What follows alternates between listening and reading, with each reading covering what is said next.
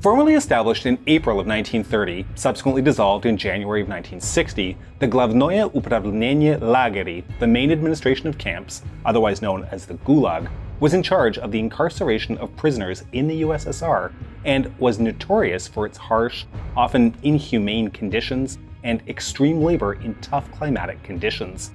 Seemingly synonymous with the Soviet Union in the minds of many, the Gulag system epitomizes the totalitarian nature of the Stalin regime, subjecting millions to repressions, including arrest and even execution, on what would amount to dubious charges of anti Soviet activity, espionage, and sabotage, often without even a semblance of due process.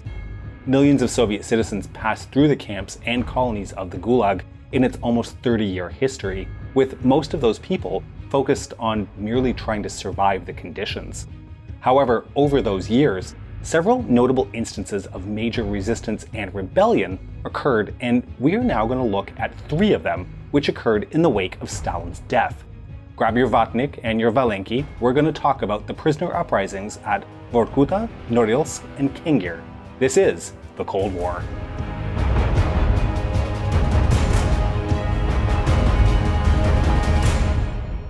So, to start with, we're going to go back to, yeah, that's right, the end of the Second World War. What a shock to most of you, I'm sure.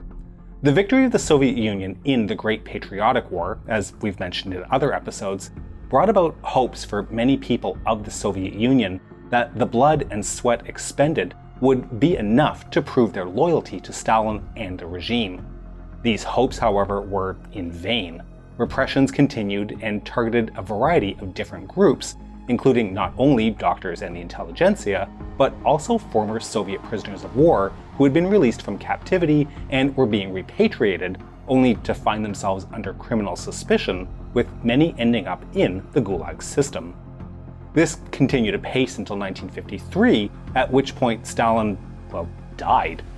Those hopes from 1945 were revived as the architect of repression was no longer among the living. In the gulags, prisoners hoped that the regime might begin to reform with milder conditions and even amnesties for those deemed wrongfully imprisoned or those arrested under politically motivated charges. In fact, rumors circulated about amnesties, with an official announcement coming only weeks after the mustache's death. Joy turned sour for many, however, when it became clear that the amnesty would only apply to those imprisoned for non political crimes or those with short term sentences. Their hopes for freedom dashed, many began to plan more drastic action to, if not solve their problems, at least improve their conditions. We're going to talk about three different rebellions, but what we should note here is that they all had common core features. They all took place after Stalin's death, but before Khrushchev's secret speech in 1956. All three were politically motivated. And they were all driven by desperation after the hoped for amnesties fell well short of expectations. We'll start in July of 1953 in the Vorkuta Rechlag camp, or Vorkuta River camp. For those who don't know, Vorkuta is located in the Komi Republic, just above the Arctic Circle and 1,180 kilometers northeast of Moscow. The camp focused its labor on coal mining and forestry, and by July of 1953, it had approximately 56,000 inmates, most of whom were serving sentences for political crimes. As such, the amnesty that had been offered didn't apply to the vast majority of them. When Lavrenti Beria was arrested on June 26, 1953, prisoners gained hope yet again that reforms would now come, now that the head jailer had been removed. When this hope was also dashed, resentment really set in.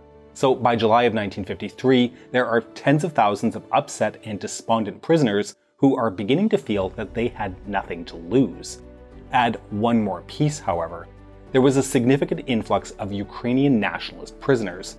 Denied their homeland and imprisoned for their beliefs, they would be a major catalyst in the uprising that was to occur. Now, we should also talk about the prisoners themselves, just to be clear on who they were and why they were in Vorkuta.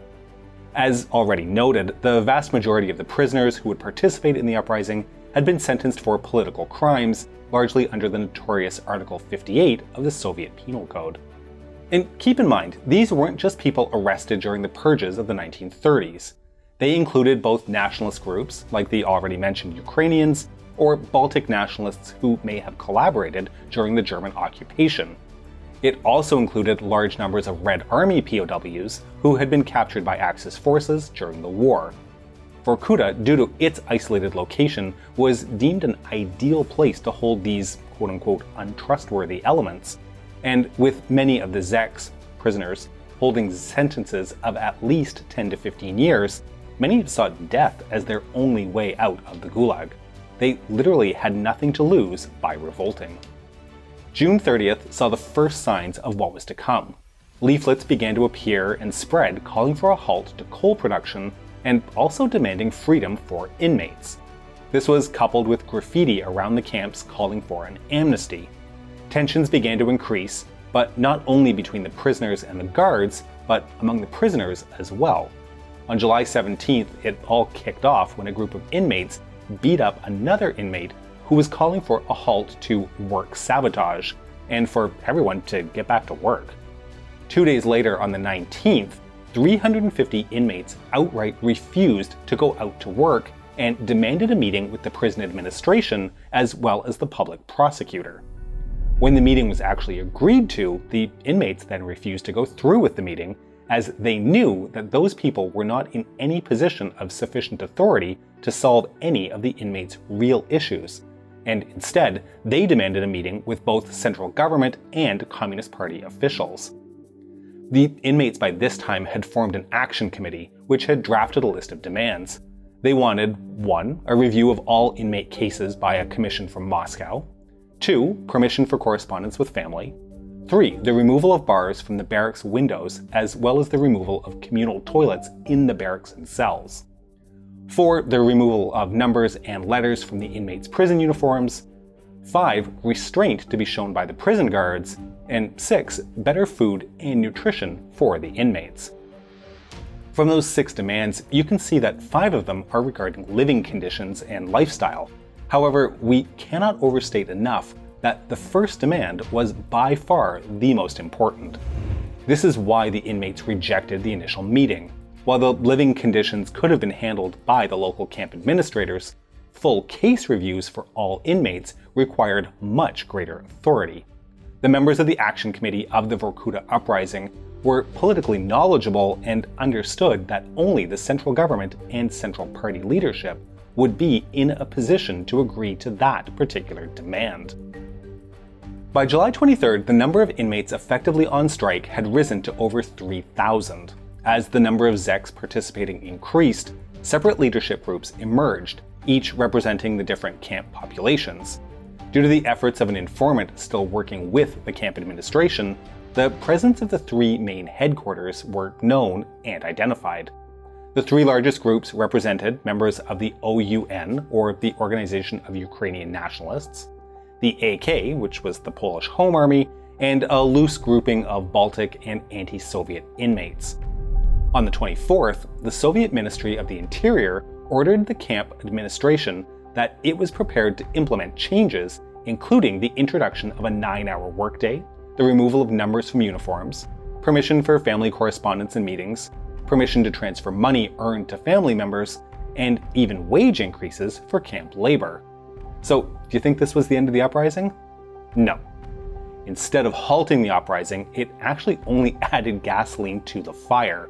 The day after the ministry announcement, the number of participating Zeks had surged to over 9,000 people. On the 26th, the first deaths of the uprising occurred. Inmates made the decision to release 77 men who had been sent to a maximum security penal cell for their active participation in the uprising.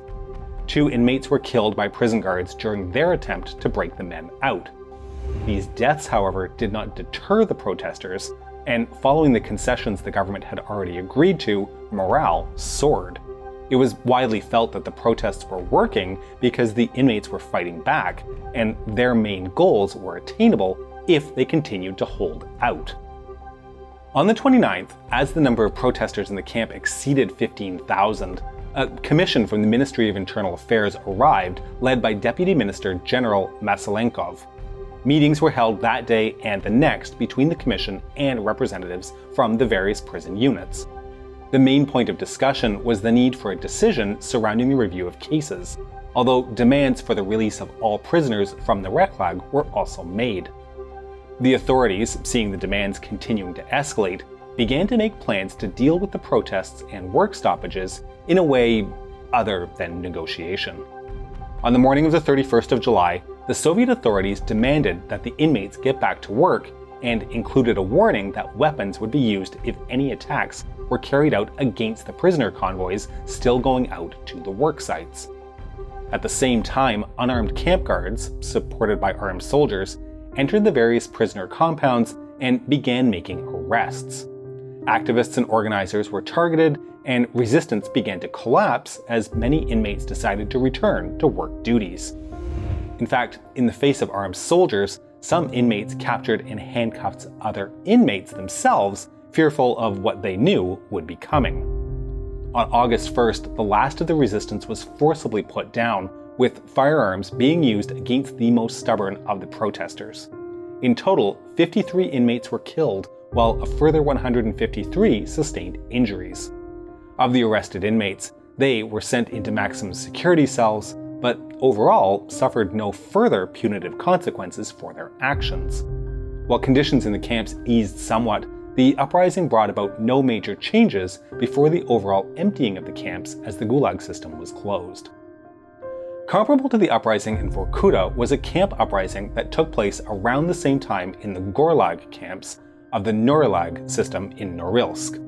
The Gorlag, or mountain camps, were specialized for political prisoners and focused their labor on the extensive nickel mines that were being exploited. Norilsk, for those who may be interested, is located well above the Arctic Circle in Krasnoyarsk Krai, 2,878 kilometers northeast of Moscow.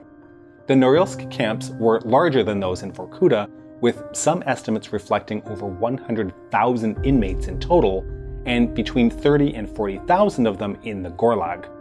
In total, Norilsk consisted of 35 camp units, with 14 correction and labor units, with an additional 5 units coming from the Gorlag. Similar to the camp in Vorkuta, the inmate population was composed of a variety of different groups, some of whom had been on opposite sides during the war years. There were former Red Army POWs, both soldiers and officers, partisans, inmates from the German concentration camps, collaborators with the Germans, traitors to the motherland, and even members of groups who had sided with neither the Soviets or the Nazis.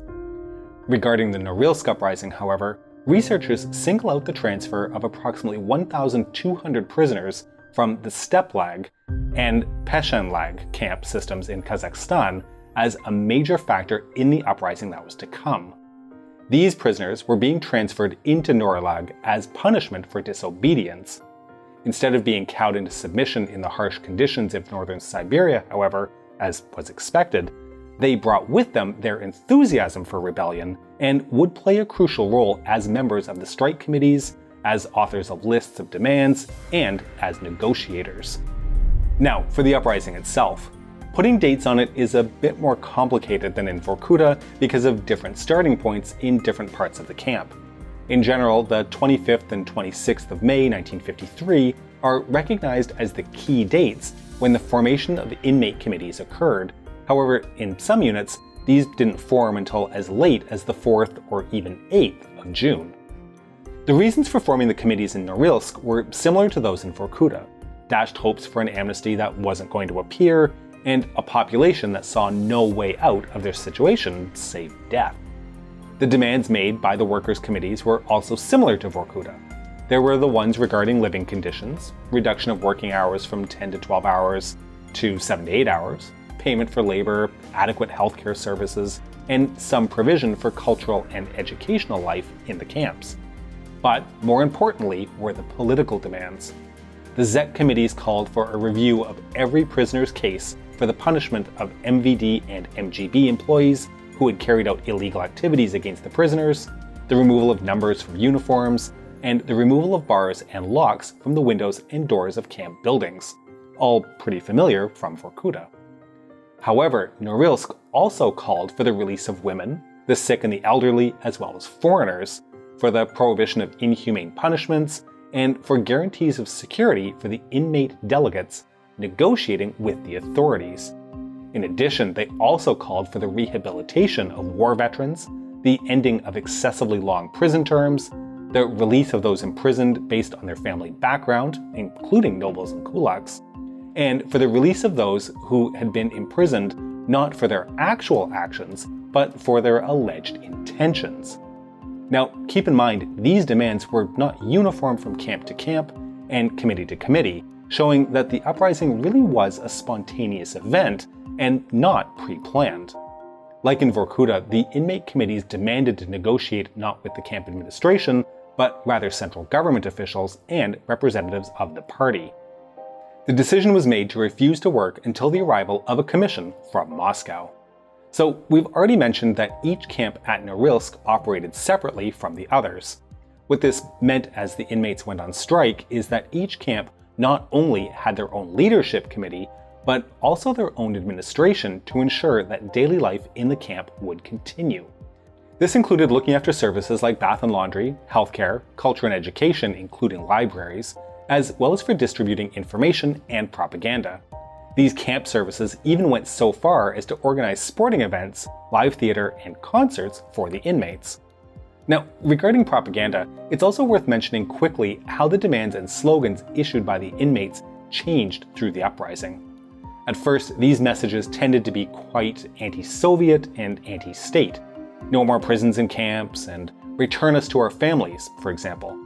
These were often accompanied by the hanging of black flags meant to mourn fallen comrades, as well as an act of general disobedience. As the uprising continued, however, messaging became more pro Soviet.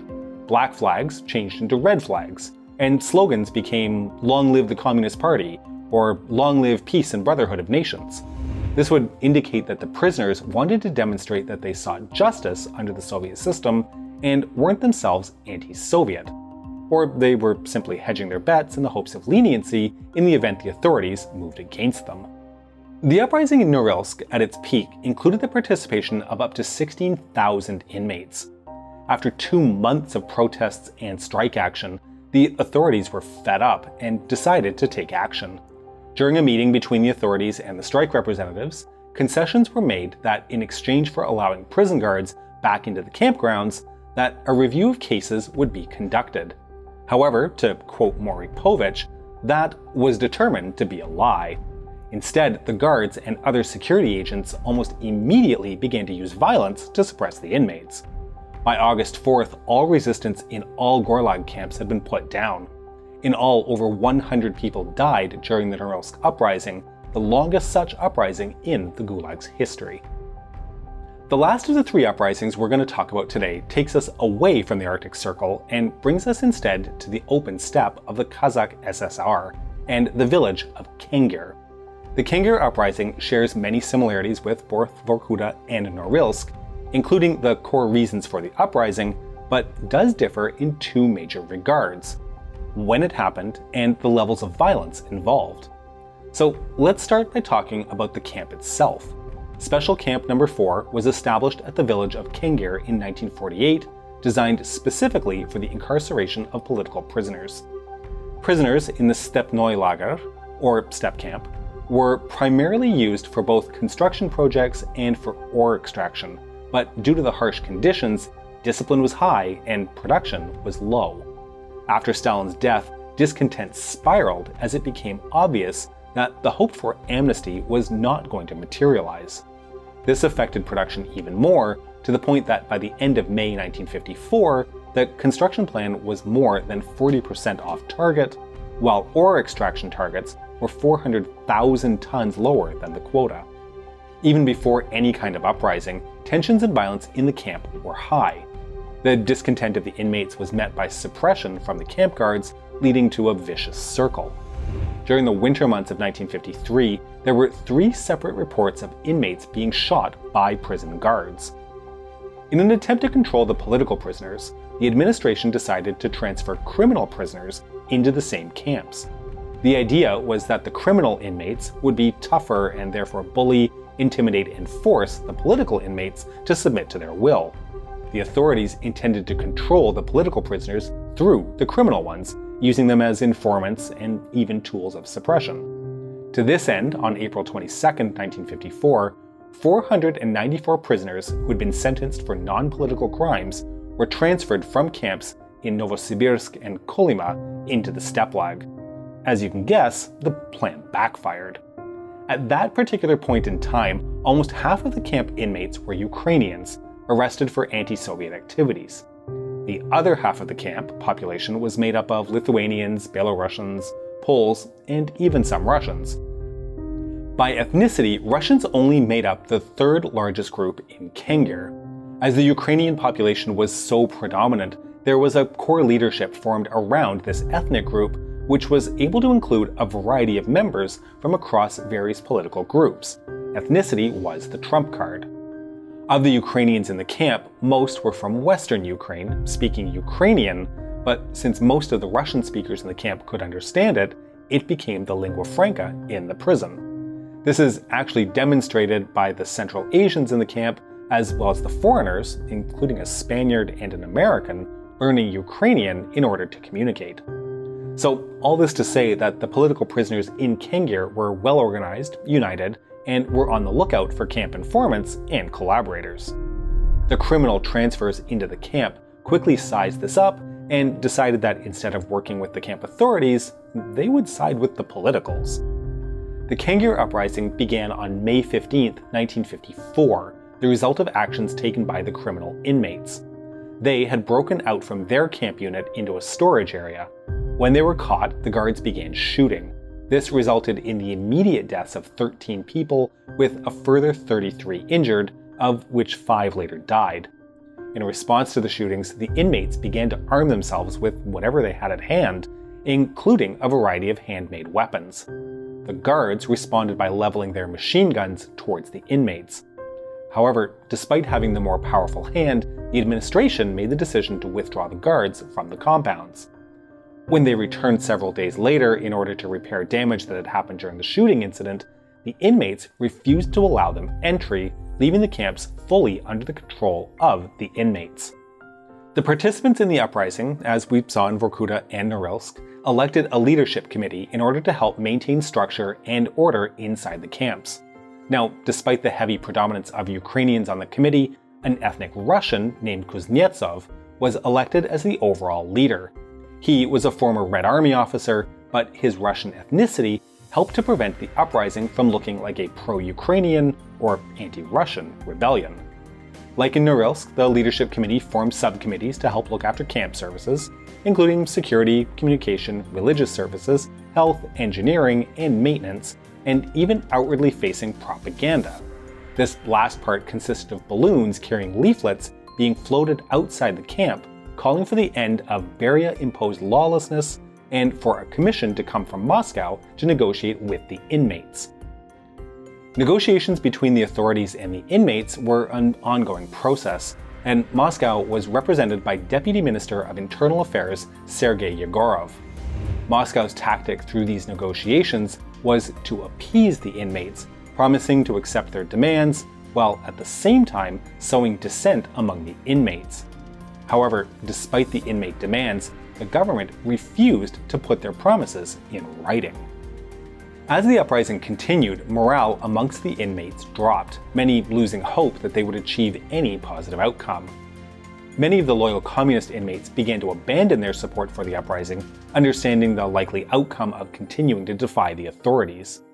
On the 25th of June, a loudspeaker announcement was made to the inmates that a meeting with the Central Committee of the Communist Party was to be held.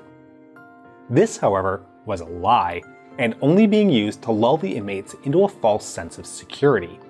June 26, the 40th day of the uprising, saw an assault on the camp by the authorities, which included the deployment of five tanks. There was only one way this would end. Official reports of casualties indicated the death of 46 inmates, although witness accounts after the suppression pointed to hundreds of deaths. The seven most prominent leaders of the uprising were captured and each received death sentences for their role in the strikes. So that's the story of Norilsk, Kengir, and Vorkuta, three Gulag uprisings. All three were similar to each other, with similar reasons for happening, and with similar goals. All three ended the same way, being violently crushed by the authorities.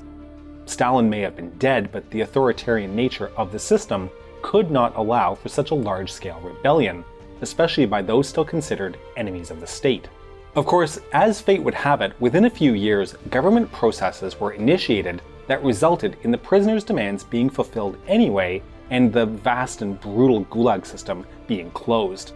But that could not be seen in 1953 and 1954, and a lack of options or hope drove people to desperate action. People with nothing to lose are far more likely to risk it all for a chance to reach their goals. We hope you've enjoyed today's topic, and to make sure you don't miss future episodes, please make sure you subscribe to our channel and have severely repressed the bell button. We can also be reached via email at thecoldwarchannel at gmail.com, and we're active on Facebook and Instagram at The Cold War TV. If you enjoy our work, please consider supporting us via www.patreon.com slash The Cold War or through YouTube membership. This is The Cold War channel, and don't forget, the trouble with the Cold War is that it doesn't take too long before it becomes heated.